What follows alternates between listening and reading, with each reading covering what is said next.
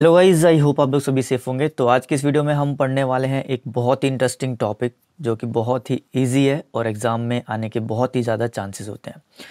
So guys bill of exchange topic है आज का हमारा। देखिए बिल ऑफ़ एक्सचेंज को शुरू करने से पहले मैं कुछ बातें आपको बताना चाहूँगा। सो इस वीडियो को स्टार्ट करने से पहले मैं आपको ये बता दूँ कि लास्ट क्लास मैंने एथिक्स का full chapter within fifteen minutes में करवाया हुआ है। तो आप लोग जाकर वीडियो को देख सकते हैं।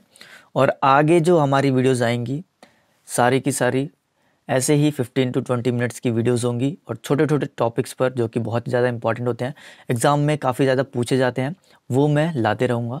एक में दो से तीन वीडियो मैं लाने की कोशिश करूँगा ताकि आपके जो कॉन्सेप्ट हैं वो क्लियर रहें और आप मुझसे रेगुलर बेस पर कनेक्ट रहें। तो चलिए स्टार्ट करते हैं आज का हमारा टॉपिक बिल ऑफ़ एक्सचेंज बड़े ध्यान से समझना जो मैं बताऊँगा आप लोगों को। मैं आपको विश्वास दिलाता हूँ कि बहुत ही अच्छे से ये जो कॉन्सेप्ट है आपको समझ में आ जाएगा।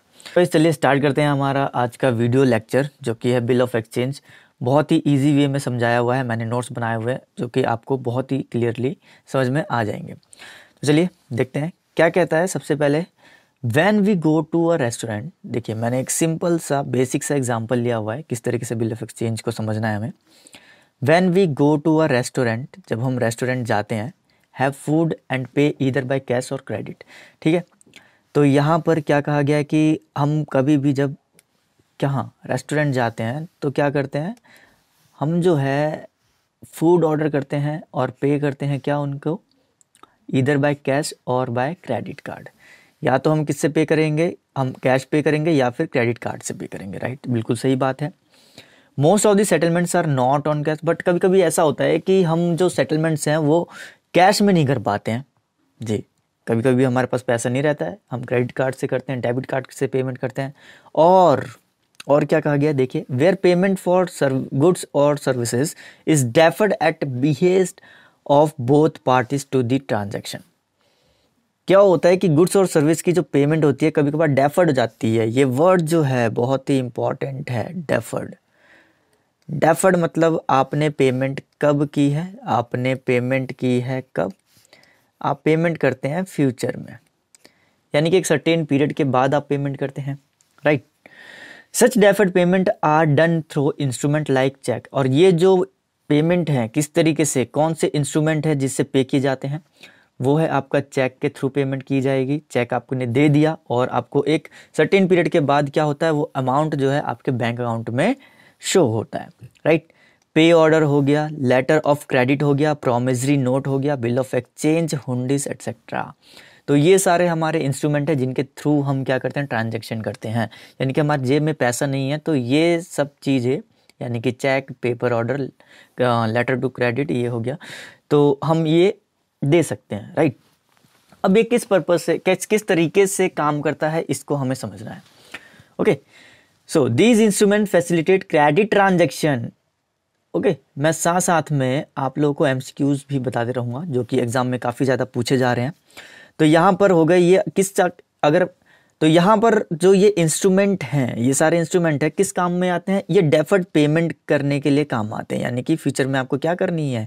इन इंस्ट्रूमेंट की हेल्प से पेमेंट करनी है राइट नाउ ये और ये किस लिए ये क्या फैसिलिटीज़ देते हैं? ये क्रेडिट ट्रांजेक्शन की फैसिलिटीज़ देते हैं okay sometimes they are refer to as credit instrument और नेगोशिएबल इंस्ट्रूमेंट तो इनको कभी कभार क्या कहा जाता है? क्रेडिट इंस्ट्रूमेंट या फिर negotiable instrument right in case of credit transaction credit transaction में क्या होता है? The supplier normally gets a promise from the customer that he will settle the payment at a future date agreed यानी कि future में, एक future date पर agreed हो जाता है पेमेंट करने के लिए। Okay it could either be promissory note और अ बिल ऑफ़ एक्सचेंज वो या तो फिर प्रोमिजरी नोट हो सकता है या बिल ऑफ़ एक्सचेंज हो सकता है। Okay okay? बहुत ही अच्छा टॉपिक है। Right right? बहुत अच्छे से समझना। हर एक चीज़ को समझाते जाऊँगा।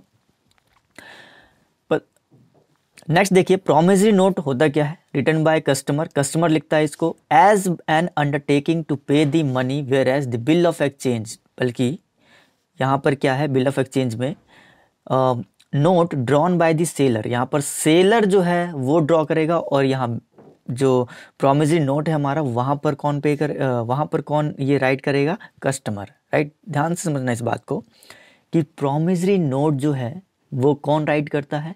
Written by the customer and bill of exchange is drawn by the seller बनाता है okay and accepted by the buyer और एक्सेप्ट कौन करेगा बायर करेगा राइट right? चलिए इन इंडिया इंडिया में देखिए क्या बताया गया है यहाँ पर in India the negotiable instrument act 1981 कौन सा एक्ट 1981 एक्ट जो है governs the provision for bill of exchange ये जो है, इसको हैंडल करता है। ये नेगोशिएबल इंस्ट्रूमेंट एक्ट है, ये बात ध्यान रखना आप। कौन सा है नेगोशिएबल इंस्ट्रूमेंट हमारा? 1981 जो कि गवर्न करता है कौन? किस प्रोविज़न को? Provision for bill of exchange okay इनसे रिलेटेड जितने भी केसेस होंगे, वो किस एक्ट में हैंडल किए जाएँगे? 1981 जो कि हमारा एक्ट है, कौन सा? Negotiable instrument right as per this act the bill of exchange defined as किस तरीके से डिफाइंड किया गया है?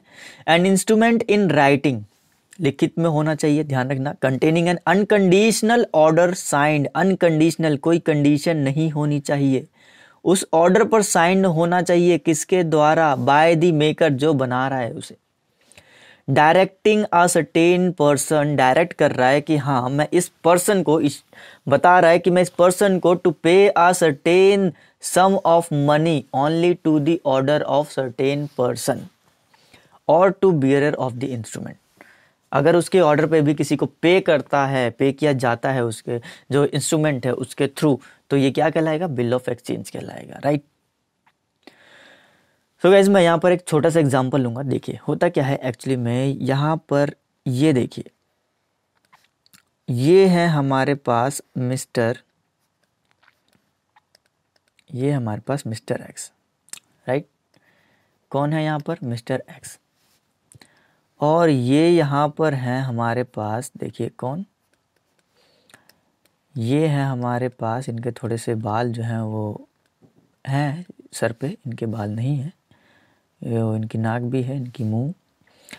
इस तरीके से ये है हमारे पास mister Y.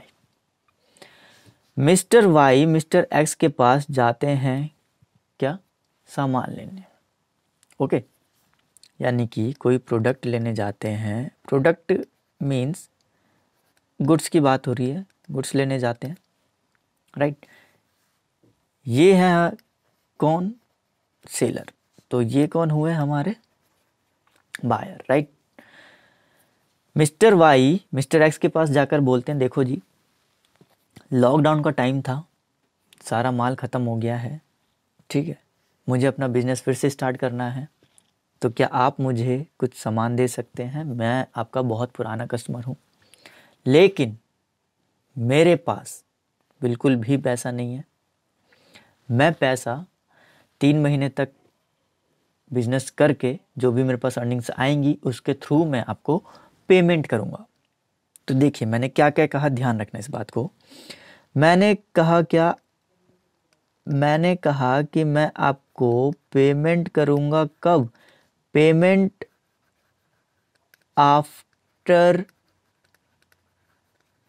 थ्री मंथ्स मैं आपको थ्री मंथ्स के बाद पेमेंट करूँगा राइट यानी कि उसने एक अपनी बात रखी है कि मैं पेमेंट करूँगा प्रॉमिस लिया है ओके मिस्टर एक्स कहते हैं, देखिए लॉकडाउन के बाद तो सबको ही प्रॉब्लम है, बहुत ज़्यादा प्रॉब्लम है, सब परेशान हैं, ठीक है जी, परेशान है ओके फिर भी मैं आपको क्या करूँगा? अपने यहाँ से माल दूँगा। आप जाइए, अपना बिज़नेस कीजिए। लेकिन अब जो है कंडीशन थोड़ी स्ट्रिक्ट हो गई है। लॉकडाउन के बाद से मामला जो है चेंज हो गया है। पैसों के मामले में कोई भी कॉम्प्रोमाइज़ नहीं। तो मैं यहाँ पर क्या करूँगा, मिस्टर वाई आपके लिए ये एक पेपर है ओके पेपर राइट जिस पे आपको साइन करने पड़ेंगे। ठीक है, साइन कर देंगे। मिस्टर वाई पूछते हैं, कैसा पेपर है ये? ये एक ऐसा पेपर है जिसमें लिखा हुआ है डेट आई एम मतलब मिस्टर वाई। मुझे क्या करना होगा? मुझे पे करना होगा। I have to pay a sum of money after three months. Okay? मुझे क्या करना होगा? मुझे जो है पे करना होगा तीन महीने बाद certain money and a certain period आपको। ठीक है? किसको? मिस्टर एक्स को। और यहाँ पर साइन करके मुझे देना होगा राइट तो मिस्टर एक्स की बात की जाए, मिस्टर एक्स, कौन हुए? मिस्टर एक्स सेलर तो हुए, लेकिन जब ये बिल ड्रॉ कर रहे हैं तो कौन हुए? देखिए, ध्यान रखिए इस बात को बड़े ध्यान से समझना। मिस्टर एक्स, जब इन्होंने ये बिल रेज किया, बिल बनाया, मिस्टर वाई ने कहा, ठीक है, ओके, मुझे आपकी शर्त जो है वो मंजूर है, ठीक है, मुझे आप दीजिए, बिल दीजिए, मैं साइन कर देता हूँ। इन्होंने ये बिल एक्सेप्ट कर लिया, साइन कर दिया और मिस्टर एक्स ने जो है वो बिल अपने पास रख लिया। राइट? अब ये कौन हो गए? ये लेनदार हो गए, लेने वाले। लेनदार को क्या बोला जाता है? लेनदार को बोला जाता है क्रेडिटर राइट? ये क्रेडिटर हो गए। ये हो गए हमारे देनदार, जिसको बोला जाता है क्या? डेटर ये हमारे डेटर हो गए। राइट? अभी हम जनरल सा अकाउंटिंग लैंग्वेज में जो बात कर रहे हैं, वो ये है creditor and debtor but bill of exchange में इनको क्या कहा जाता है, वो मैं आगे आपको बताने वाला हूँ। ठीक? आई होप आप लोगों को बहुत अच्छे समझ में आ गया होगा कि मैं आपको यहाँ पर क्या समझाना चाहता हूँ कि सेलर और बायर का रिलेशनशिप जो है, किस तरीके से क्रेडिट ट्रांजेक्शन पर एक इंस्ट्रूमेंट की हेल्प से इनके बीच सेल और परचेज की ट्रांजेक्शन हो रही है। राइट चलिए। आइए, आगे बढ़ते हैं, आगे देखते हैं क्या फंडा है। अच्छा यहाँ पर एक डेफिनेशन है। आई होप आप लोग को ये चीज़ तो पता चल गई होगी कि जो जिसने मिस्टर वाई हैं, उनको डेटर भी बोला जाता है और मिस्टर एक्स जो है, उनको सेलर भी बोला जाता है। लेकिन बिल ऑफ़ एक्सचेंज में इनकी लैंग्वेज थोड़ी सी डिफरेंस है। बट ऐसा नहीं है कि एम में आपसे ये ना पूछा जाए। It may be called debtor और it may be called creditor पूछा जा सकता है एक मार्क्स में, बहुत ही अच्छा क्वेश्चन है राइट और मैंने बात की है अभी पेमेंट की आफ्टर थ्री मंथ अभी देखेंगे, इसको कंटिन्यू करेंगे। अभी मैंने आपको बेसिक सा एक पॉइंट दिया है कि ये डेटर और क्रेडिटर का। इंस्ट्रूमेंट में देखिए सिंपल सी बात है बेस यहाँ पर जो बिल ऑफ़ एक्सचेंज का इंस्ट्रूमेंट थोड़ी सी डेफिनेशन है, यहाँ पर एक जो हमने डेफिनेशन पढ़ी थी, वही हमारे फीचर्स भी होंगे। क्या डेफिनेशन पढ़ी थी कि ये एक राइटिंग डॉक्यूमेंट होता है? Content unconditional order sign by the drawer ये सारी बातें जो हमने पढ़ी थी, वही सेम इसके फीचर्स भी हो जाएँगे। राइट चलिए आगे बढ़ते हैं। आगे देखिए। Where is a bill of exchange is drawn by the seller and accepted by the buyer a promissory note on the other hand is created by the buyer as an undertaking to pay the seller. ठीक है, वो हम already पढ़ चुके हैं। चलिए specimen of a bill of exchange देखिए bill of exchange का उदाहरण, कितना अच्छा। देखिए, जिस डॉक्यूमेंट की मैं बात कर रहा था, वो डॉक्यूमेंट ये है। यहाँ पर स्टैंप लगेगी आपकी। स्टैंप अगर आप की फॉर्म में कंपनी है, जो उसकी स्टैंप लग जाएगी, या फिर आप सिग्नेचर कर दोगे एज ए सेलर जो है। एड्रेस ऑफ़ ड्रॉवर डेट लगेगा। डेट लिखेंगे यहाँ पर। देखिए, क्या लिखा हुआ है, क्या लिखा होता है एक्चुअली में? Three months after date pay to a sum of fifty thousand यहाँ पे वर्ड्स में भी लिखा हुआ है, ध्यान रखने इस बात को for the value received okay यानी कि थ्री मंथ्स बाद जो है वो क्या करेगा? पैसे रिसीव्ड करेगा, कितना? फिफ्टी थाउज़ेंड का। टू बी एक्सेप्टेड यहाँ बी सिग्नेचर कर देगा। कौन हो गया? ए ड्रॉवर हो गया राइट तो ये बात हो गई यहाँ पर बिल ऑफ़ एक्सचेंज किस तरीके से डॉक्यूमेंट होता है, ये आपने देख लिया राइट चलिए, आगे बढ़ते हैं यहाँ पर parties of bill of exchange जो मैं बात कर रहा था कि कौन कौन सी पार्टीज़ होती हैं। तो देखिए यहाँ पर कौन कौन सी पार्टीज़ होती हैं। सबसे पहले parties of the parties to the bill of exchange the parties involve in transaction that uses bill of exchange as a mode of settlement are जो कि सेटलमेंट को पूरी करते हैं, वो कौन कौन सी पार्टीज़ होती हैं। सबसे पहले ड्रॉर की बात की गई है। He is a person who draws the bill typically he is the seller or a creditor देखिए, आ गए ना? अब बताइए, मुझे सेलर और क्रेडिटर कौन था? जी seller or a creditor he is the seller or a creditor drawer की बात हो रही है, यानी कि वो सेलर भी हो सकता है और क्रेडिटर भी हो सकता है। जो बिल लिखेगा ड्रॉ करेगा, वो ड्रॉवर होता है। ध्यान रखना सेलर की बात की जाए तो यहाँ पर कौन थे मिस्टर? यहाँ पर थे मिस्टर एक्स जो कि थे सेलर ध्यान रखना बात। सेलर को हमने क्या कहा था? क्रेडिटर ही कहा था। ठीक है? जो हमारा बायर होगा, वो कौन होगा? डेटर होगा। यानी कि वो ड्रॉ ही हो गया। तो इस मिस्टर एक्स जो हैं, वो हमारे क्या बन गए? ड्रॉवर बिल ऑफ़ एक्सचेंज की लैंग्वेज में इनको ड्रॉवर बोलते हैं। इनको क्या कहा जा सकता है? क्रेडिटर भी कहा जा सकता है और सेलर भी कहा जा सकता है। राइट? ओबियसली जनरल सी फॉर्म में देखा जाए तो ये सेलर ही हैं क्रेडिट पर जो माल बेच रहे हैं। चलिए। नेक्स्ट आती है ड्रॉर की बात। Drawer is the person whom the bill is drawn जिनके ऊपर बिल जो है वो लिखा गया। है normally he is the buyer होते हैं और डेटर होते हैं, क्योंकि ये देनदार हैं, पैसा देंगे। He has to pay the amount इनको पे करना होता है बिल ऑफ़ एक्सचेंज का अमाउंट जो कि drawer on the due date पर जो इन्होंने मेंशन किया है, लिखा हुआ है right okay. So I hope guys आपको बहुत अच्छे समझ में आ रहा होगा ये। क्या क्या यहाँ पर ये सब चल रहा है। ओके? सो चलिए, आगे बढ़ते हैं अब हम। आगे बढ़ते हैं हम अपने पेई की तरफ़। पेई कौन होता है? पे इज़ द पर्सन वो पर्सन होता है whom the amount of bill is payable जिसको पे कर दिया गया। यानी कि वो थर्ड पर्सन हो सकता है क्या? यस थर्ड पर्सन हो सकता है। He may be the drawer himself or the creditor of the drawer भी हो सकता है। क्राइटर भी हो सकता है कोई ड्रॉर का।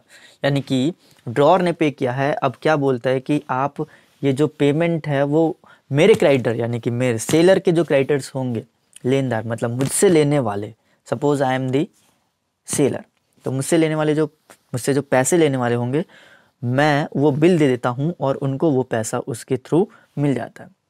So they are called what they are called payee उनको पे कहा जाएगा right next is endorsee endorsee कौन होता है? He is the person in whose the favour bill is endorse by the drawer he is usually usually the creditor of the drawer कौन होगा ये? Drawer का क्राइटर होगा एंडोर्सी जो कि बिल को अपने पास से एक एंडोर्स एक थर्ड पर्सन है, उसको बिल दे देगा. This is he is the endorsee okay इसको दिया गया है, यानी कि बिल दिया गया, वो इंडोर्स ही होगा। एंड दिस ये क्या कहलाएगा? ये एक इंडोर्समेंट कहलाएगा राइट ये केस क्या कहलाएगा? इंडोर्समेंट यानी कि हमने बिल जो है पास कर दिया। दूसरे पर्सन को, यानी कि हमारे क्रेडिटर मेरा जो क्रेडिटर होगा, यानी कि सेलर का creditor now the next is drawee in case of need drawee कौन होगा? इन केस ऑफ़ नीड ज़रूरत के टाइम पर। देखिए, बात को समझने की कोशिश कीजिए। बहुत ही अच्छा कॉन्सेप्ट है ये। Drawee in case of need वाह, बहुत ही अच्छी बात है ये। नीड की ज़रूरत होगी तो क्या होगा? ड्रॉ ही कहलाएगा। क्या हो सकता है? Sometimes the name of another person is mentioned as the person who will accept जो कि एक्सेप्ट करेगा। ओके यानी कि क्या कहा गया यहाँ पर? बहुत ही ज़्यादा नीड होती है। The bill if the original drawee does not accept it such a person is called drawee in case of need कहने का मतलब ये है नीड के टाइम पर ज़रूरत के टाइम पर जिसके पास भी होगा, वही वो कहलाएगा क्या? ड्रॉय चलिए, आगे बढ़ते हैं। देखिए, यहाँ पर पॉइंट आता है, बहुत ही अच्छा कैलकुलेशन ऑफ़ ड्यू डेट जहाँ से आपके न्यूमेरिकल से क्वेश्चन स्टार्ट हो गए। अभी जितना भी था, हमने थ्योरेटिकल पोर्शन पढ़ा। अब हम पढ़ने वाले हैं calculation of due date due date की कैलकुलेशन कैसे की जाती है? बहुत ज़्यादा इंपॉर्टेंट है। एक मार्क्स दो मार्क्स तीन मार्क्स तक का क्वेश्चन पूछा जाता है। हर एक चीज़ इंपॉर्टेंट है, बड़े ध्यान से समझना। सबसे पहले देखिए कैलकुलेशन ऑफ़ ड्यू डेट किस तरीके से की जाती है? ड्यू डेट की कैलकुलेशन की जाती है। Date of maturity is also known as due date right date of maturity को क्या कहा जाता है? ड्यू डेट कहा जाता है, ध्यान रखना इस बात को। यहीं से आपके एमसीक्यूज आ गए। इस, यहीं से आपके fill in the blanks fill the blanks आ गए। The date of which the amount of bill of becomes payable due date maturity date होगी। Right right? मैं एग्ज़ाम्पल के थ्रू समझाऊँगा आपको, बिल्कुल बेफिक्र रहिए। Now the next is the period between the date of drawing the bill and the due date is called tenure of the bill देखिए, यहाँ पर कितने सारे एमसीक्यूज बने जा रहे हैं। सबसे पहले क्या कहा हमने? Date of maturity is also known as the due date okay fine now the period between the date of drawing of the bill and the due dates due date और जब हमने ड्राइंग यानी कि बिल जो है draw किया है, उनके बीच का जो पीरियड होगा, वो क्या कहलाएगा? Tenure of the bill tenure उनके बीच का जो समय है वो। Now to compute the due date three days called अब थ्री डेज़ एक्स्ट्रा मिलते हैं। पता है आपको? जब मेच्योरिटी पीरियड होता है, उसके बाद हमें थ्री डेज़ एक्स्ट्रा मिलते हैं। जो कि क्या कहलाते हैं, वो कहलाते हैं gross period sorry grace period कहलाते हैं वो। क्या कहलाते हैं? Grace period. Are included in the date of maturity for the period of the bill.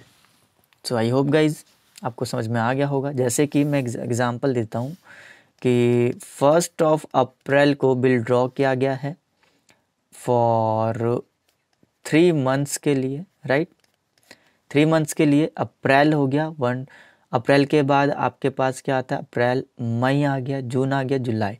यानी कि July first of July.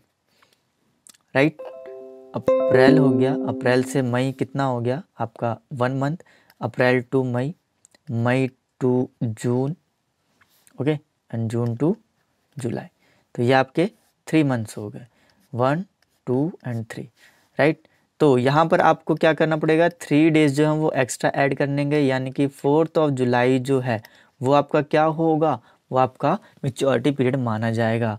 यानी कि बेसिकली देखा जाए तो हमारा मेच्योरिटी पीरियड एक जुलाई को ही है बट उसमें ग्रेस पीरियड क्या होगा? ऐड होगा। अच्छा उस दिन छुट्टी हुई तो आगे पढ़ते हैं। क्या बात करती है आपने? सब पढ़ेंगे हम। चलिए देखते हैं। For computing the date of maturity following point should be noted ये मोस्ट इंपॉर्टेंट पॉइंट्स है जो कि आपको याद रखनी होंगी कब, जब आप मेच्योरिटी पीरियड निकालते हैं, तब।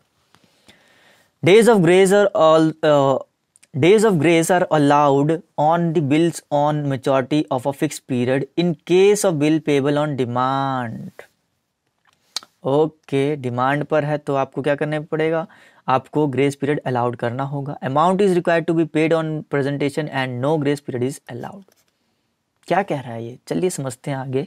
पहले पढ़ लेते हैं, फिर उसके बाद समझेंगे एग्ज़ाम्पल के through if period of bill matures on a date which is not there is month in question then the due date is taken as the last date of the month बिल्कुल नहीं समझ में आया?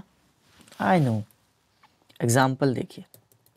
अब आएगा आपको समझ में, बहुत अच्छे से।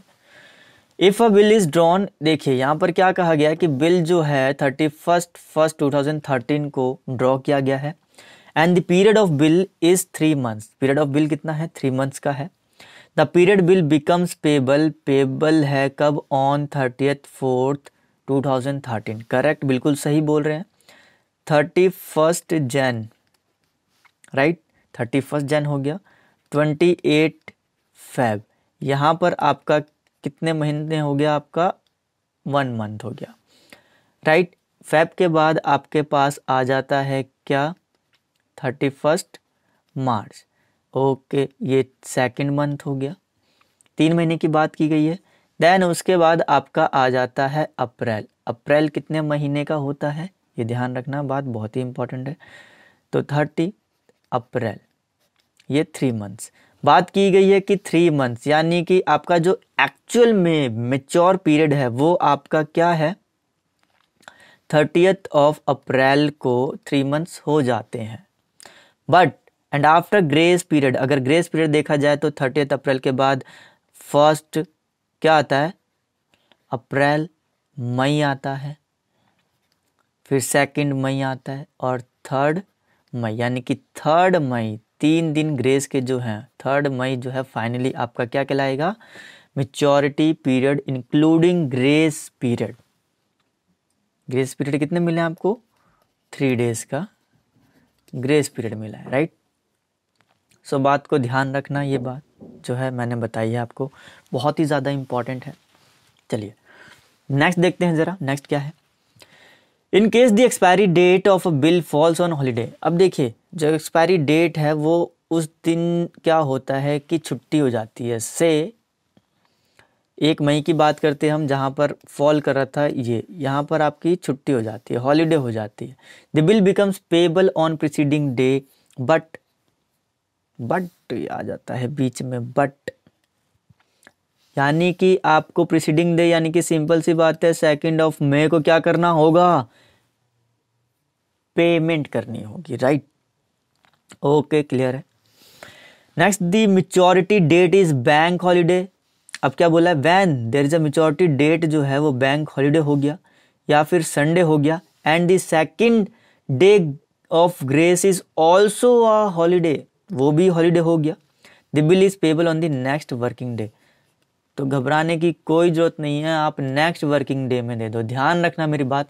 बैंक हॉलीडे संडे या फिर कोई और हॉलीडे पड़ जाता है सेकेंड डे ग्रेस पीरियड में तो आपको क्या करना होगा? पेमेंट कब करनी होगी? नेक्स्ट वर्किंग डे में पेमेंट करनी होगी। और अगर कोई छुट्टी, वैसी छुट्टी होती है इनके अलावा तो आपको उस छुट्टी से पहले पेमेंट करनी होगी। सो गाइस देखिए, अभी तक तो हमने मंथ्स में पढ़ा कि किस तरीके से मेचोरिटी पीरियड मंथ्स में कैलकुलेट करते हैं। बट अब हम पढ़ेंगे क्या कि डेज़ में किस तरीके से कैलकुलेट किया जाता है। से आपने फ़र्स्ट ऑफ़ जैन को जो है बिल रेज किया है। फ़र्स्ट ऑफ़ जैन को बिल रेज किया। आपके पास सिक्सटी डेज़ का पीरियड है, यानी कि सिक्सटी डेज़ का टेन्योर है आपके पास।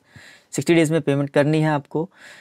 तो किस तरीके से कैलकुलेट करेंगे अब मेचोरिटी पीरियड देखिए जनवरी में बात की जाए तो आपके पास कितने दिन रह गए हैं? थर्टी डेज़ रह गए हैं राइट फैब में बात की जाए तो ट्वेंटी एट डेज़ नाउ हमें कितने डेज़ लाने हैं? सिक्सटी डेज़ लाने हैं। तो कितना ऐड करेंगे आप? टू ऐड करेंगे। टू यानी कि ये टू कौन से मंथ का है? ये है टू हमारे पास मार्च मंथ का, यानी कि सेकेंड ऑफ़ मार्च। प्लस करोगे आप ग्रेस पीरियड तो हमारे पास आता है fifth of March. Fifth of March जो है, वो हमारा हो जाता है क्या? मेचोरिटी पीरियड सो गाइज़ इस तरीके से आप डेज़ की कैलकुलेशन बहुत ही आसानी से करते हैं ओके okay?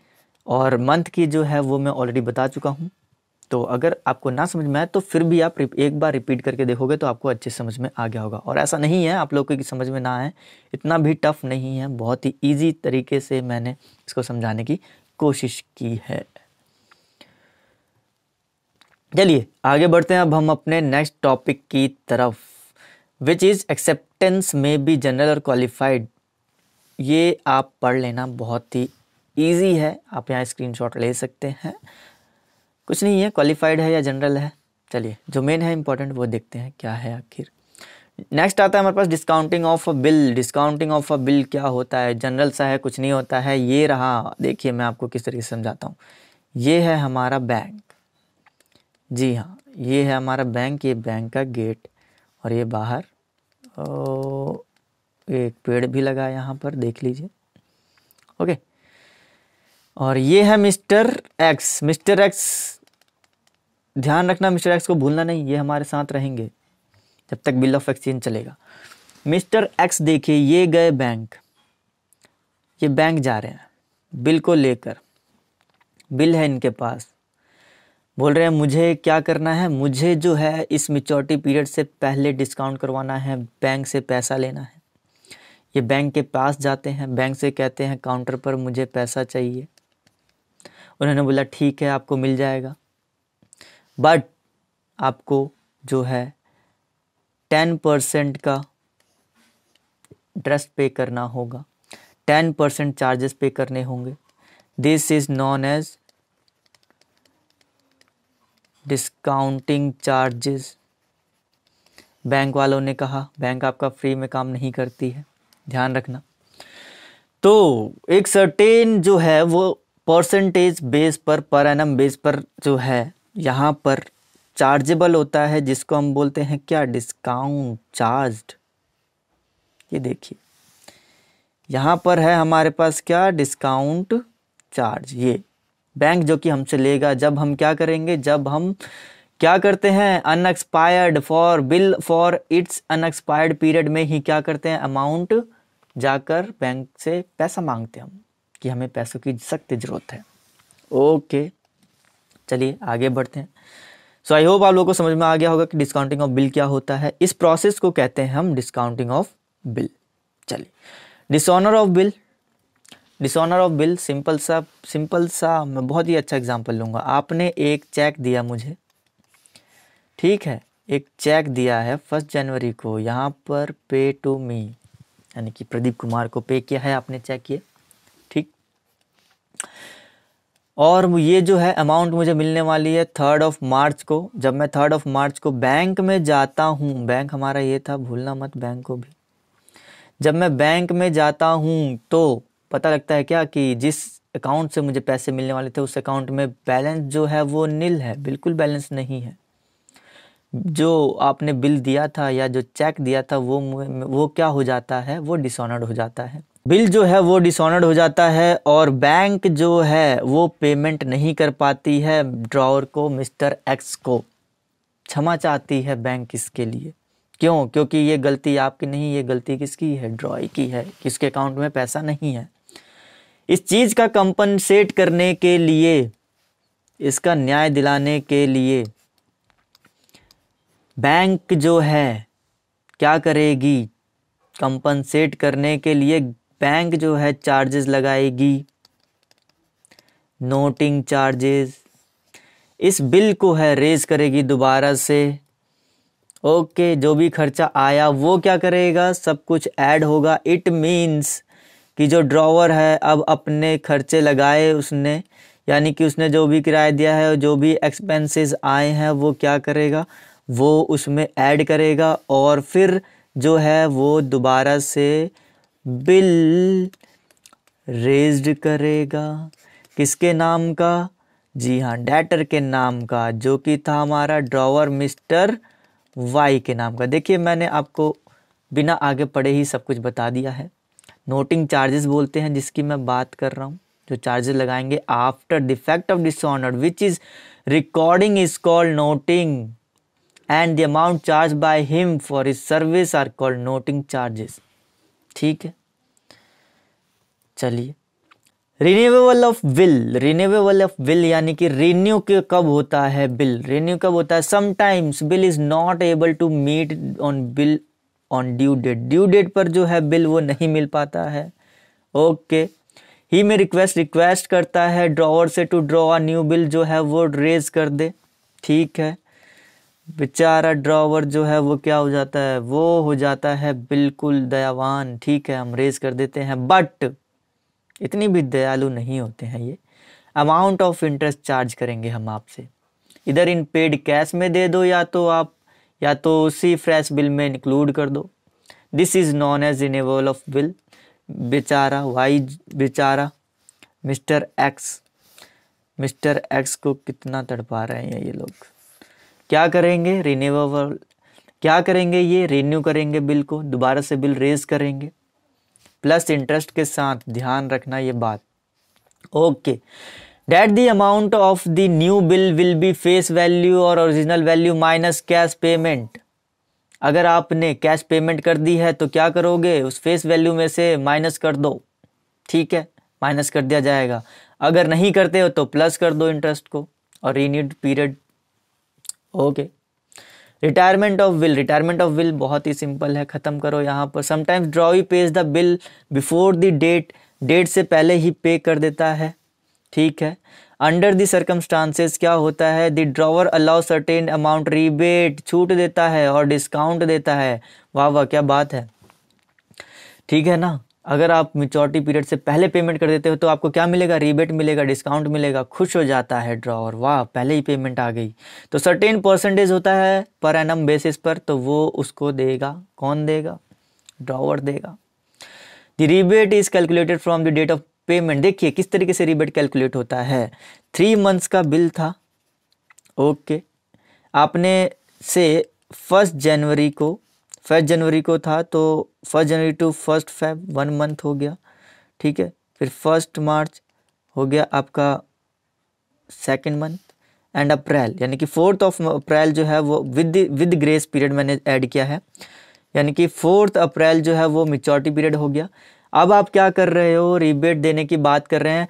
से मिचोरिटी पीरियड से दो महीने पहले, यानी कि एक महीने पहले ही, कब पेड किया उसने? इस डेट पर पेड कर दिया है। यानी कि अप्रैल से पहले कब? मार्च में ही पे कर दिया है। फ़र्स्ट मार्च को आपके पास कितने मंथ बचे? एक मंथ बचा है। एक महीने का आपको रिबेट मिलेगा। ओके ध्यान रखनी है बात को। यानी कि बचे हुए पीरियड में, ये नहीं कि आप यहाँ से जनवरी टू मार्च नहीं होगा। मार्च टू अप्रैल होगा, यानी कि एक महीने का जो है, वो एक सर्टेन परसेंटेज बेस्ड पर आपको क्या मिलेगी? छूट मिलेगी डिस्काउंट मिलेगा रिबेट मिलेगा। सो गाइज़ आई होप आप लोगों को ये कॉन्सेप्ट जो है बिल ऑफ़ एक्सचेंज का समझ में आ गया हो। थ्योरेटिकल पोर्शन जो है, मैंने सब कुछ इसमें, जो है, सब कुछ इसमें बता दिया है। और फिर भी कोई डाउट होता है तो आप कमेंट में करके ज़रूर बताइए। और अगले आने वाली जो वीडियो होगी या आप जो भी वीडियो चाहते हैं, कोई टॉपिक तो आप मेंशन करके बताइए कि हमें ये टॉपिक नहीं समझ में आ रहा और कैसी लगी ये वीडियो आपको, वो भी बताइए। कोई कमियाँ हो, वो भी बताइए। कोशिश करूँगा नेक्स्ट टाइम से सुधारने की।